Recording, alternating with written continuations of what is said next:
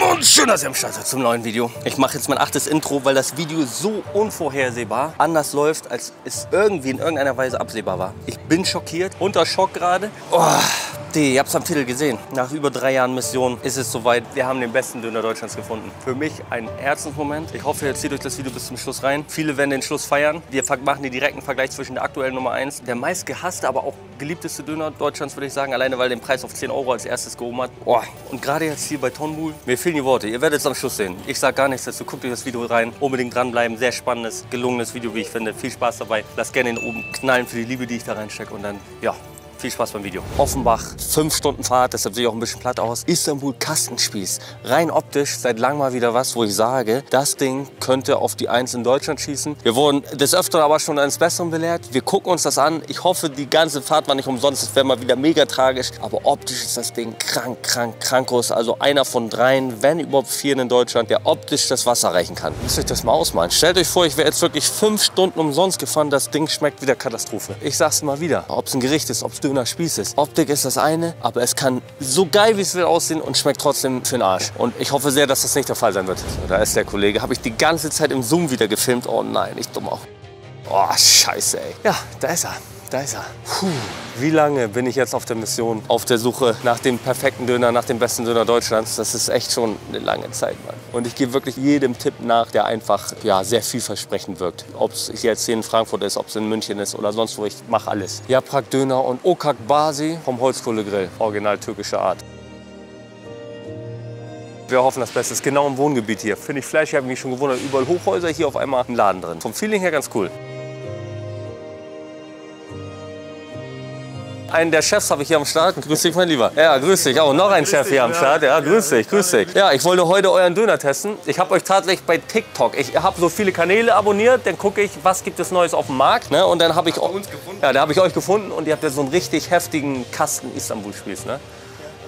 Hi, grüß dich, mein Lieber. Hallo, grüß dich. Sei gegrüßt. Alles gut? Wir lieben dich, das weißt du. Ja, gell? danke schön. Ich euch auch. Hast du uns direkt entdeckt, hä? Ich habe euch Du entdeckt. bist der Hammer. Ich ne? kann deiner Community sagen, dass du wirklich ehrlich bist. Dankeschön. Ich habe sehr viele gesehen, Ja, ja. aber du machst es wirklich. Ich hoffe, du sagst die Worte immer noch, wenn ich getestet habe danach. Kannst du ruhig machen, also wie du bist, so sind wir auch. Wir wollen auch Dankeschön. nur ehrliche Meinung. Genau, das so muss sein. sich Das liebe ich. Aber Bestimmt, dass ne? du so schnell uns entdeckt hast, wir sind seit acht Jahren im Steakgeschäft, Ja. also besser gesagt das erste Halal Steakhouse in Ja. Europa und im Fleischgeschäft seit eineinhalb Jahren. Es war nur eine Frage der Zeit, dass wir in das Business einsteigen und Ja. ein bisschen umrütteln. Und seit wann seid ihr hier jetzt? Zwei Wochen erst. Laber nicht, Ja, ehrlich? ja, ja, ja. Guck, wie schnell der Holle ist. Der ich bin ist- auf, Nummer auf eins. dem allerersten. Auch wenn er uns also, jetzt niedermacht oder hoch macht, ist egal, aber, Aber er ist die Nummer eins. geil. Das, Äh, das, also ich bin gerade selber fasziniert von mir, Mann. Ja, ich bin stolz auf dich. Guter Holle, guter Holle. Tolle macht es. Geil. das scheiße ist, macht das Video weg. Ja, dann Schneid ma- das weg. Das kostet aber einen Zehner. oh, guckt euch das an. Oh, wild. Hi, mein Lieber, grüß dich. Und passendes Outfit auch. Also der ist auch aus der Türkei, kann ich nur drei Wörter Deutsch. Ach, ehrlich, der ist auch aus der Türkei. Kann nur drei Wörter Deutsch, Ja, du. wir wollten den original authentisch türkischen Döner machen. Ah. Da gab es zu viel, diese Ja. modernen. Wir sind einfach die Zeit für Ah, sehr gut. Keine Zauberei, das Rad nicht neu Und erfunden. ihr habt wirklich Holz sogar dahinter, ne? Habt ihr da Holz dahinter? Das ist Holz. Ach, da das ist sogar von Holz gefeuert. Krass, Mann, wie ist dein Name? Jakob. Ich weiß, dass du das liebst, ja. Ich freue mich. Oh, er kann das, er kann das. Als wäre er mit dem Dönerspieß in der Hand geboren. Oh, da ist ein dicker Haufen schönes Fleisch. Oh, das macht ihr auch selber hier, ne? Zwei Arten. Ich habe eine Überraschung für dich. Welche Wir Überraschung. haben zwei Brote, Ja. beide top. Und wenn du sagst, lieber den anderen, Ja. dann lasse ich den anderen. Du Okay. darfst mitmischen. Den original türkischen, Ah, ich glaube, den feierst du auch. ja, den feiere ich. Und dann haben wir den hier, der bisschen fluffigere. Zu 80 Prozent wollen die den Wei weißt du, was immer mein Traum war? Weil Fairhats Döner, er ist sehr beliebt, aber manche würden auch sehr gerne den Döner mal einfach mit dem normalen Brot Den hab probieren. ich auch. Das ist nicht gefüllt, also hier ist ganz viel mit Luft gearbeitet. Das ist ganz einfach wie eine Wolke. Also nicht mal Wolke, hier ist Luft drin. Nur unten ist Teig. Das ist ein Gedicht, Jakob. Jetzt kommt der noch frisch aus, den kannst du Der auch noch? der ist auch jetzt halbe Stunde alt. Das ist das Fairhat-Brot, Leute. Nur Fairhat macht ohne oben Körner und natürlich ist nicht das gleiche, aber es ist ähnlich. Ich habe fünf Stunden nichts gegessen. Ich muss den ersten Biss für Döner. Ja, okay. Den ersten Biss für so-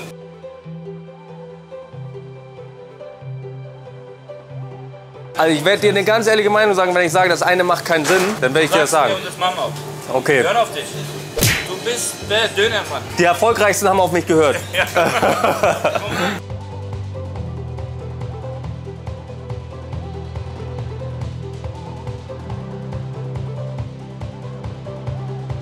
Da ist das Holz hinter, Leute. Das ist so hell, meine Kamera kommt gar nicht klar damit.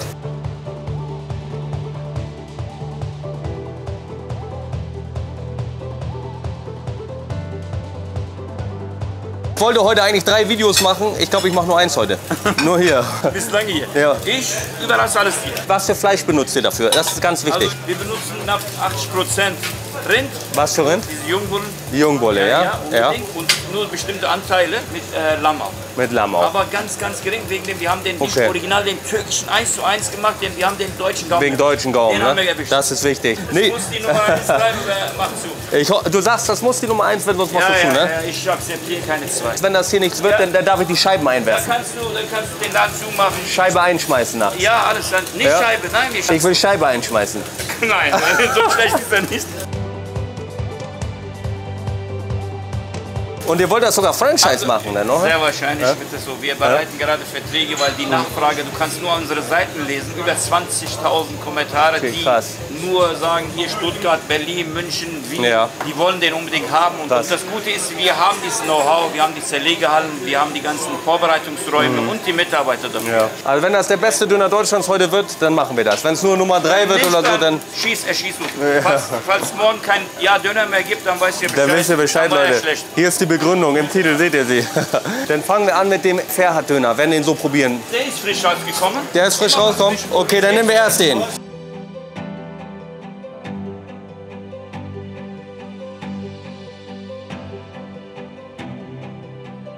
Das ist Sekundenarbeit.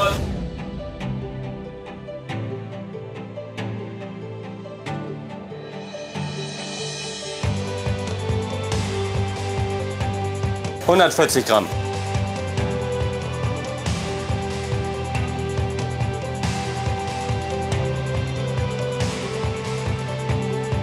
Okay, jetzt gucken wir. Das ist ein Engel vom Himmel gefallen. Guckt euch nochmal den Kollegen an. Das ist ein Traum, ist das.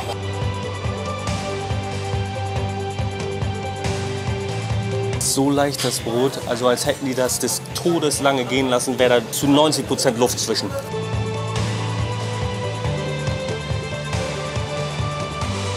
Eine Sache ist todeskrank, und das habe ich so noch nicht gegessen, die Kruste außen vom Fleisch. Es ist auch ganz anders als bei Ferhat, ganz knusprig und intensiv, was in die Tiefe geht, wenn diese Röstung stärker wird. Und einfach dieser intensive Röstgeschmack, aber ganz böse doll.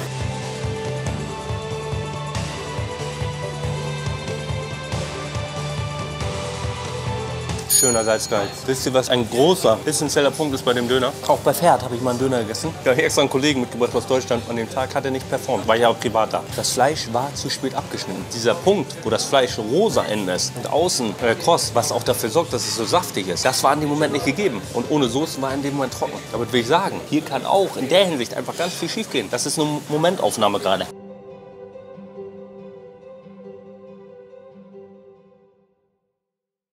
Ganz anderes Geschmacksbild als bei Pferd. Pferds Fleisch ist herber. Pferd benutzt auch keinen Jungbullen. Das merkst du hier, das ist ein ganz anderes Geschmacksbild. Was ja nicht negativ sein muss. Ein wildes, edles, edles, edles Ding. Guck mal das Brot. Böse heftig. Ich kann euch jetzt schon mal sagen, das kann der beste Döner Deutschlands sein. Jetzt ist es, wie ich eben gesagt habe, ein ganz schmaler Grad. Wir müssen ein ganz klein wenig früher das Fleisch abnehmen, damit die Saftigkeit von innen, damit es nicht zu doll durchgebraten war. Denn ein Stück Rad war ein bisschen trocken.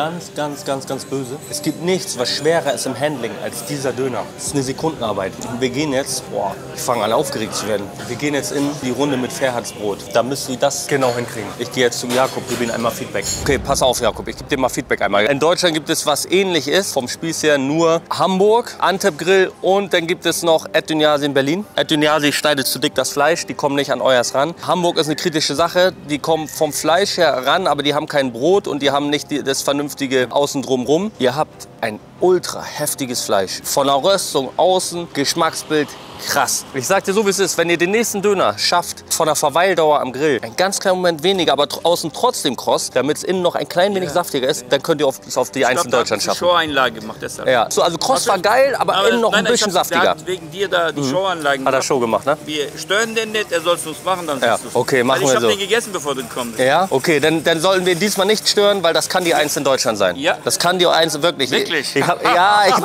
richtig aufgeregt. Ich akzeptiere. Ja, ja. Ich will keine zwei sein. Ich akzeptiere keine zwei. Aber ich sag dir auch eins so, wenn das Fleisch gleich wieder mit einem leichten Trockenheitsfeeling wie eben kommt, dann kann es nicht die Eins sein. Okay. Aber immer noch Nein, weit ich, oben. So kommt er nicht, das Okay. weiß ich schon. Ja. Ich freue mich jetzt schon. Okay. Aber eins kann ich dir sagen, Ja. ich werde dich auf jedes Mal, wenn du kommst, mehr überraschen. Wenn du jetzt nächste Woche kommst, sagst du, was war das? Ja. Du kommst in einem Monat, du sagst, was ist das? Ja. Das ist so mein Ziel. Also, das, Okay, das will ich machen. jedes Mal besser. Ihr seid am Anfang gerade und liefert das ab, das ist stark, Also Jakob. es- also ich- Stark ist das. Das sind auch so Zauberjungs. Das sind die Zauberjungs. Salam Ja, alaikum. das hier der Salam große, alaikum. kleine. Ah, große Bruder, Und der kleine Bruder. Da kommt das jetzt Stark sieht das aus. Das krieg ich gleich direkt frisch, ne? Ja, das kannst du jetzt. Hast du schon mal Döner drüben gegessen? Ja. Stark, ne? Das ist stark. Oh, Sehr lecker. Ich war überrascht eben. Hier habt ihr auch noch ein paar Köstlichkeiten, ne? Hier ist eine Bäckerei. Oh, auch noch frisch Baklava und alles. Traum, Traum, Traum, Traum, Traum. Hier habt ihr auch noch. Und schöne Torten. Guck mal, Leute.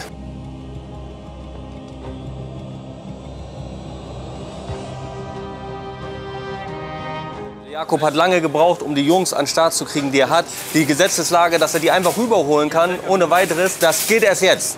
Ne? Grüß dich, mein Lieber. Serkan, ist wir hatten geschrieben. Wir hatten geschrieben, genau. Oha, Serkan, mein Lieber. Einmal der kleine große. Der kleine große? Das ist für die türkische Küche, der Ja. weiß, was Geschmack ist. Ja. Der hat diesen Know-how, der hat 12, 50 Jahre Ja. Und der weiß genau, die Jungs Ja. in der Hand zu haben. Und Serkan ist für Management seit acht Jahren an meiner Seite. Okay. mein Sohn. Und der andere Ich bin Kleine. der Visionär. Ja. Ich träume. ja. Und wer ist untenrum der Größte von euch?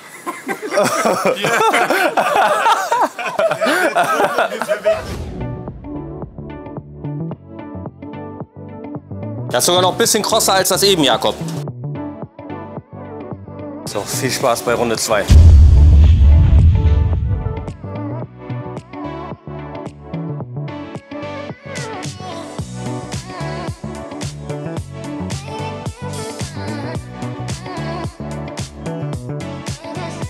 Boah, seht ihr das, wie saftig?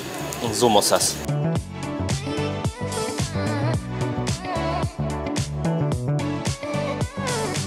Hat es euch geschmeckt, ja?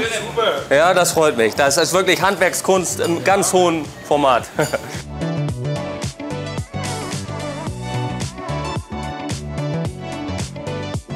Habt ihr gesehen, wie fettig das Brot schon war vom Spieß, wo die das da dran gerieben haben?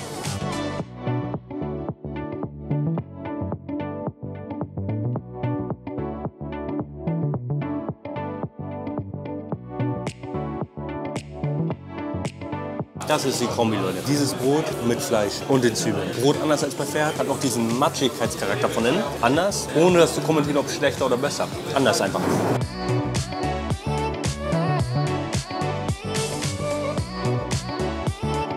Ich vermute, jetzt bin ich zum Fett gekommen, wo das Brot eingefettet wurde. Das war ja nicht überall. Meine spontanen Gedanken. Fleisch vom Salzgehalt und so weiter, von der Würzung perfekt. Fleisch bis zur Hälfte des Döners circa, ganz klein bisschen Wumms-Gefühl für den perfekten Döner, für den perfekten wohlgemerkt. Nicht negativ, einfach für den perfekten, wir suchen den perfekten. Dann kam jetzt auf einmal ein ultimativ kranker Geschmack. Ich kann den nur mit dem Fett begründen. Nicht zu beschreiben, einfach intensiv, einzigartig, geschmackserweiternd. Oh, Vergleich zu den anderen Istanbul-Spießen. Al-Dünyasi schneidet zu dick. Hamburg, Geschmack vom Fleisch an sich super. Haben keinen richtigen Döner an und für sich. Die haben das nur für mich gemacht und im Dürrenbrot. Das Dönerbrot ist nicht ausgereift genug und das haben die eigentlich nicht mal in der Karte. Gesamtspiel Deutschland vor diesen Istanbul-Spießen ist das der stärkste. Die schneiden dünn, die schneiden gut. Das Fleisch ist heftig. Pferd hat zum Beispiel noch den Punkt, wenn man Pferd jetzt mit reinnimmt. Zwiebeln werden zum Star in dem Döner. Dieses Superlativ in dem Sinne würde ich hier nicht nehmen. Ist aber auch kein Muss. Und Pferd ist wie gesagt noch kerniger. Das einzige Problem, wenn ich so ausdrücken darf. Ähnlich wie beim Lava-Grill in Delmenhorst, Nähe Bremen. Dadurch, dass sie dieses Jungbullenfleisch nehmen. Jungbulle ist zum Beispiel, wenn man es vergleicht mit Rind, einfach nicht so kernig, nicht so intensiv, nicht so tief. Der hat nimmt für diesen Spieß Rindfleisch. Das hier ist krank, Leute. Krank, krank, krank, kranker Döner. Aber im Vergleich leicht schwächer. Man musst auch bedenken, wie lange haben die Döner, die oben in der Liste stehen, du brauchst, um zu dem Punkt zu kommen, die bestehen seit zig Jahren. Der ist seit zwei Wochen am Start. Aber er wird eine kranke Bewertung kriegen und die Bewertung seht ihr gleich.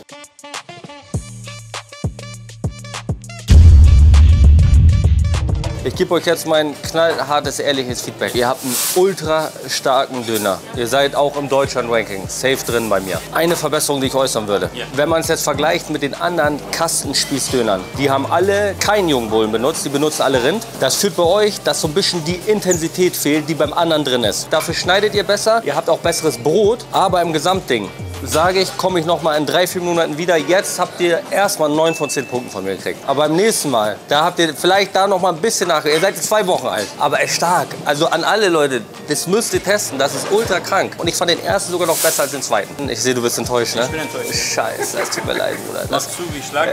Dann geht's. das ist zu früh gekommen. Trotz allem äh, glaube ich, äh, es ist äh, ganz oben normalerweise. das ist aber ganz stark. Ich fahre fahr seit dreieinhalb Jahren durch ganz Deutschland, teste jeden Döner und ihr seid unter in der Top 10 drin. Nach zwei Wochen, nach zwei Wochen. Aber trotzdem. Oh, scheiße, das sieht fast aus, als hätte ich dich zum Weinen gebracht. Du musst noch mal. Scheiße. Ich komme noch mal. Versprochen, versprochen, ich komme noch mal. Sagt, wann ihr soweit seid und dann komme ich wieder. Das verspreche ich euch.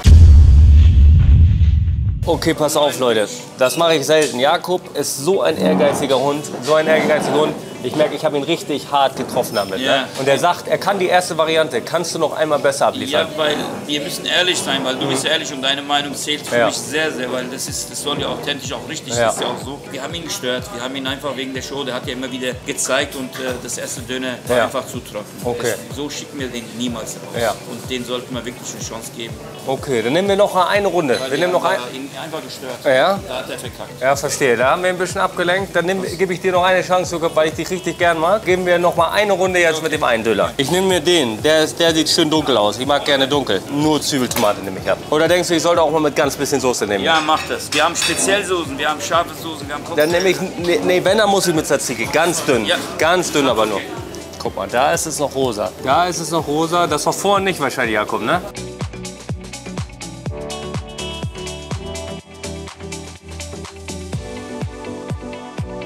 Okay.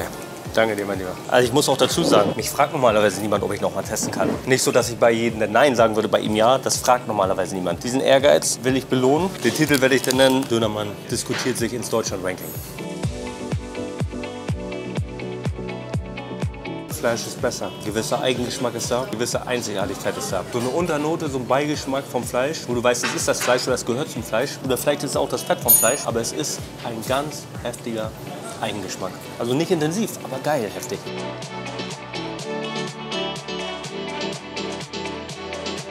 haben eben die Körner mit rein. Der Schwarzkümmel, der Sesam war vorher nicht da. Das ist nochmal ein schöner Impuls davon reingeschossen.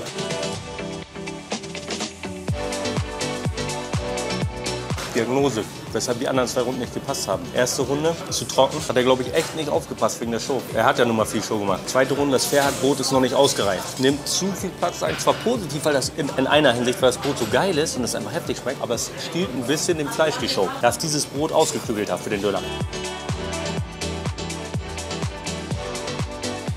Ganz liebliche, kranke Unternote. Ganz böse. Dieser Geschmack, wo ich die ganze Zeit von rede. Dieser dezente, geile, neuer, auch unbekannter für mich Fleischgeschmack, der da mitschwingt. Jetzt gerade auch noch mal noch ein bisschen stärker wurde. Der ist krank, Leute. Der ist einfach einzigartig, krank. Noch nie sowas gegessen. Überwältigt mich gerade. Nach schon zwei Dönern. Jetzt kommt die Röstung noch mal dezent rein. Die Röstung vermischt sich mit den Körnern und den krossen Brot außen. Es ist zu heftig. Er hat sich erkämpft. Geile Kombi mit der Soße oben drauf. Du hast du die nicht im ganzen Döner, aber mal zwischendrin als kleines prickelndes Extra, wollte ich gerade sagen. Als kleiner Special. Scheiße, Mann. Ich gebe Jakob die Bewertung jetzt. Ach, komm, Jakob, setz dich. Jakob hat fast geweint, das habe ich gesehen im positiven Sinne, Ja, ja, weil dich das so getroffen hat. Also das hat mich berührt selber, weil ich gemerkt habe, das hat dich richtig Wir haben getroffen. auch viel Arbeit. Da. Ist viel Arbeit. Ja. Also ich kann dir eins sagen, Jakob. Dieser Döner war wirklich besser als die vorher. Dein Fairhardbrot, das andere, das ist noch nicht ganz ausgereift. Das hat ein bisschen zu viel dem Fleisch die Show geklaut. Minimal. Das hier war jetzt perfekt. Ich werde dir jetzt eine Bewertung geben, Jakob. Du kriegst von mir 9,3 drei Punkte für den Döner. Der war absolut Champions League. Dieser Fleischgeschmack, den ich da reingekriegt habe, war einzigartig. An dem Punkt, wo ich sagen würde, sogar das Kernige ist was anderes. Vorher hätte ich gesagt, das Kernige war besser bei den anderen. Jetzt würde ich sagen, das war was anderes. Du kommst vorerst auf die zwei bei mir in Deutschland und ich werde noch mal einen direkten Vergleich machen. Wir sind immer noch traurig. Ja, natürlich. Nein! Wir haben keine Werbung gemacht, du solltest nicht kommen, wir haben dich nicht angeschrieben, Nee. Ich habe schon einen Muffe von hier gehabt, der hat gesagt, der soll nach ein, zwei so Monaten kurzer kommen. Zeit, ne? Komm nochmal, schieß uns in die Nummer 1. Weißt du, was das Ding ist? So wie andere Leute Fußballkanäle abonniert haben, habe ich Dönerkanäle abonniert und Ja. Fastfood-Kanäle und ich kriege alle Informationen direkt. Und meine Vögelchen habe ich überall.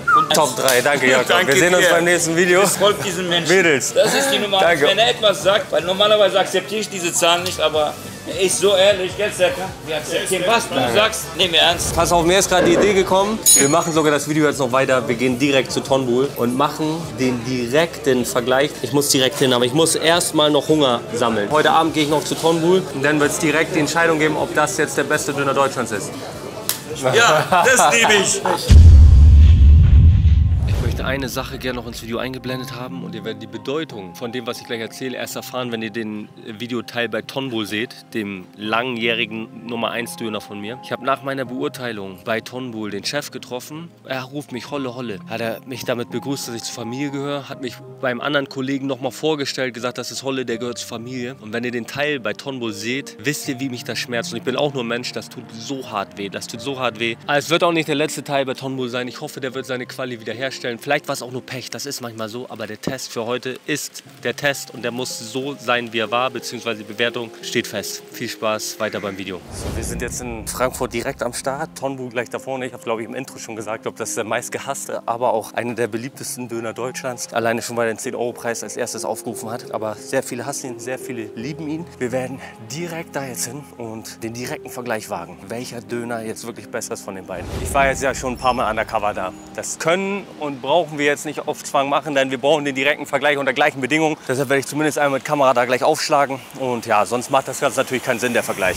So, da ist der Kollege. Ich verbinde damit so viel, Leute, weil so gefühlt alles hier begann. Also jetzt nicht direkt, aber vieles hat hier seinen Ursprung genommen. Wenn ich das jetzt mal so sagen darf. Ja, es ist Fakt. Das finde ich sehr interessant irgendwo. Ich habe den Kollegen reich gemacht mit meinem Video und den Wellen, die das geschlagen hat. Und er hat irgendwo dadurch auch viel bei mir bewegt. Das ist so ein Ursprung von mir. Ne? Also ich würde jetzt mal behaupten, ohne das Video hätte es auch geklappt, aber irgendwie war das so gefühlt in mir, war das so irgendwie so ein richtig, richtiges, ja, richtiger Startschuss irgendwie. Deshalb verbinde ich viel, viel Geschichte damit. Und wie gesagt, der hat Laden umgebaut, alles. Muss es einfach mal so sagen, der Typ hat mir sehr viel zu verdanken. Das ist als Beispiel.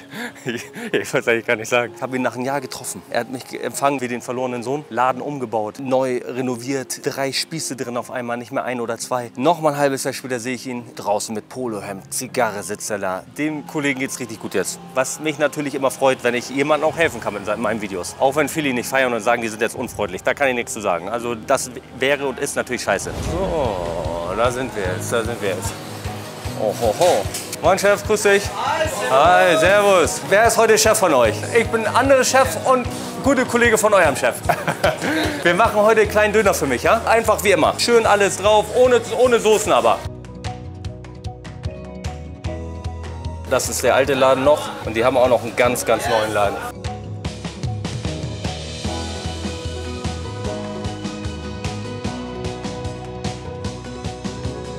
Ich komm, danke, ich komme gleich noch mal rein, ne? Danke, danke. Wir werden es wie letztes Mal machen. Ich habe nämlich hier jetzt auch keinen Ständer, weil mein erster Test war hier in der Tiefgarage. Hier bin ich reingegangen. Das werde ich aber nicht machen. Ich habe noch besseren Platz.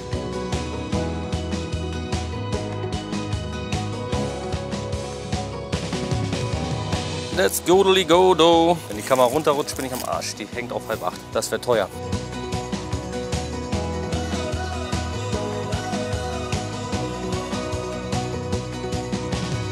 Übrigens, ihr seht, es ist dunkel. Das ist jetzt etliche Stunden nach meinem letzten Test. Hat mir noch mal Hunger gemacht.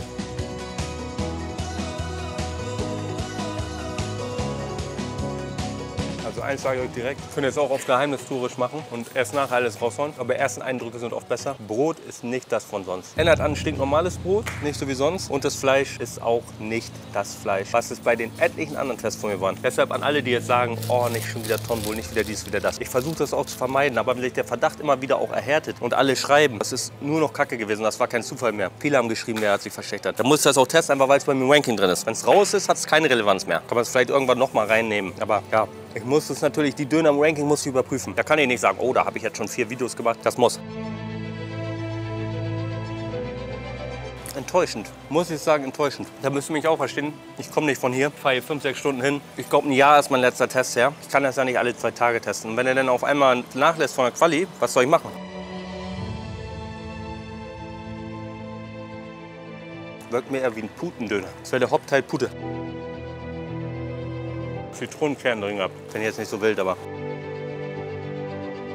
aufgepasst. Unangenehmer Geruch, unangenehmer Geschmack sogar gerade. Muss ich sagen, wirklich unangenehm. Erschreckt, erschüttert, enttäuscht bin ich. Dass es unangenehm wird, hätte ich nicht gedacht. Nicht so gut, vielleicht auf Platz 10 im Ranking oder vielleicht downgraded. Aber das schafft es bei Weitem. Bei weitem nicht mal ins Ranking, weil es unangenehm war. Nicht mehr rankingwürdig, würde ich sagen. Aber so, Boah, da traue ich mich gar nicht, eine Bewertung abzugeben. Und der Typ sagt eben noch zu mir, ich kann nicht verstehen. Er sagt, ich kann nicht verstehen. Okay, als ich ihn erst nur neun Punkte gegeben habe. Okay, neun Punkte, aber wie kann Tonbull über uns sein? Sagt, wie kann Tonbull über uns sein? Habe ich schon oft gehört. Sagt jeder, jeder ist von unserem Produkt überzeugt. Aber das ist schwach, was Tonbull gerade abgeliefert hat. Aber ganz Real Talk, ich will nie jemand schlecht reden. Aber durch den unangenehmen Touch, ehrlich, das ist peinlich, was ich jetzt sage. Mehr als eine 5 von 10 kann ich nicht geben, weil das unangenehm war. Weiß nicht, was das am Schluss war. Es geht nicht anders. Tut mir leid an den Tonbull-Kollegen. Wir müssen aber real bleiben, ehrlich. Aber das heißt für uns, wir haben noch über drei Jahre eine neue Nummer ich muss erst mal verarbeiten. Küsse eure Herzen, dass ihr mich auf dem Weg begleitet. Das ist mein Herzensprojekt. Mir fehlen die Worte. Ich muss das Video so beenden. Bis zum nächsten Mal.